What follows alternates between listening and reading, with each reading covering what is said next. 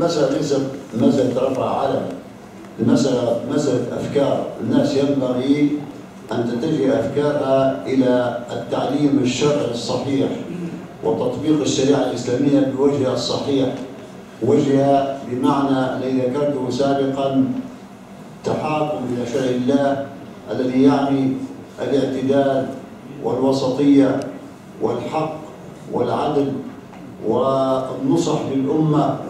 وفهم نصوص الشريعة على ما فهمه عليها أصحاب النبي صلى الله عليه وسلم والتابعين والأئمة.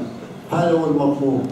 هذا من فهم الشريعة على هذا الفهم وعمل بهذا العمل فهو من أهل السنة والجماعة ومن السلف الصالح ولا بد أن تجتمع كلمتنا كلمتنا على هذا الفهم.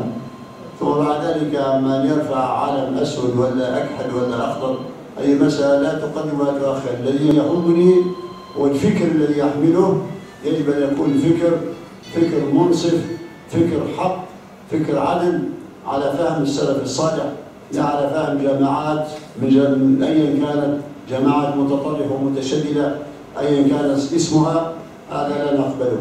نريد فهم الكتاب والسنة على ما على فهم عمر بن الخطاب وأبي بكر وابن عباس وأصحاب النبي صلى الله عليه وسلم وابن عمر وغيره لا نريد على فهم فلان ولا علان من هذه الجماعات اللي خرجت الآن وتبيح دماء المسلمين بحق وبغير حق.